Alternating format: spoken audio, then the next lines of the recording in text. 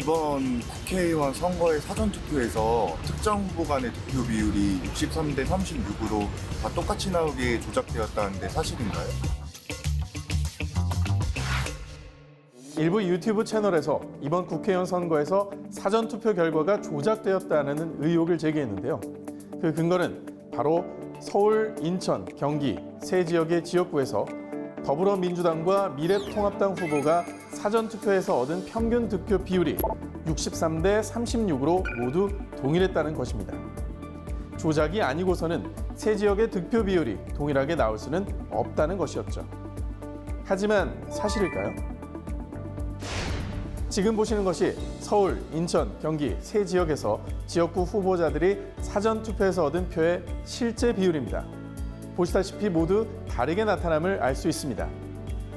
민주주의 선거는 두 정당만이 아닌 다양한 정당에서 후보를 추천하기 때문에 그렇게 모든 후보자를 포함해서 계산해야 합니다. 이 중 두 정당만을 찝어내 비교하는 것은 의미가 없습니다.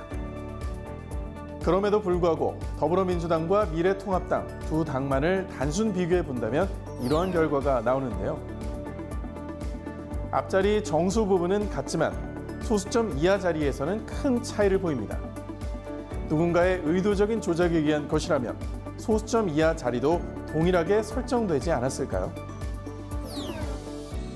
그리고 이 비율은 다양한 지역구에서 서로 다른 후보가 선출된다는 사실을 무시하고 서울, 인천, 경기 지역의 모든 득표수를 합산해서 계산했다는 것이 결정적인 문제점입니다. 제21대 국회의원 선거에서 서울특별시의 지역구는 모두 49개, 그중 더불어민주당과 미래통합당 두 당만을 단순 비교해봐도 63대 36과 유사한 비율을 보이는 지역구는 단 5곳입니다. 인천광역시의 지역구 13개 중 더불어민주당과 미래통합당 두 당만을 단순 비교해보면 63대 36의 비율을 보인 곳은 단 두 곳이었으며 경기도의 경우 59개의 지역구 중 더불어민주당과 미래통합당 두 당만을 단순 비교해 보면 단 6곳만이 63대 36의 비율을 보였습니다.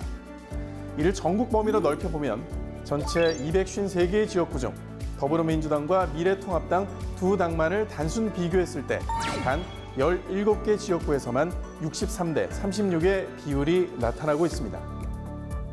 그러므로 서울, 인천, 경기 지역에서 더불어민주당과 미래통합당의 후보자 간 사전투표 득표 비율이 63대 36으로 모두 동일하게 나왔다는 것은 잘못된 계산으로 산출된 의미 없는 수치입니다.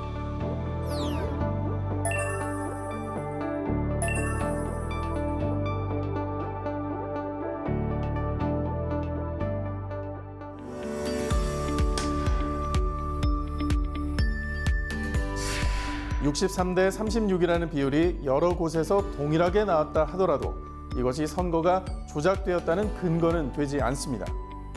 이번 제21대 국회의원 선거에서는 여러 지역구에서 동일한 득표 비율이 나온 사례가 있습니다. 단적으로 67대 32의 비율이 나온 지역구가 무려 17개입니다. 63대 36의 비율이 나온 지역구와 동일한 숫자죠. 또한 61대 38의 비율도 14개 지역구에서 나타납니다. 과거의 선거에서도 유사한 사례들이 발견됩니다. 2017년에 있었던 제19대 대통령 선거.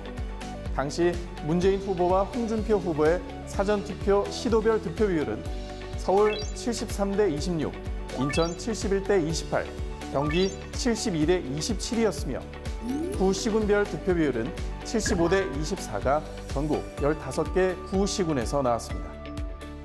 그러므로 동일한 득표 비율이 여러 지역에서 발생했다는 것은 절대 선거 결과 조작의 증거가 될 수 없습니다. 따라서 의혹을 제기하는 63대 36의 비율은 이번 국회의원 선거에서 특별한 의미가 있는 수치라고 할 수 없으며 이를 부정선거의 증거라고 볼 수 없습니다.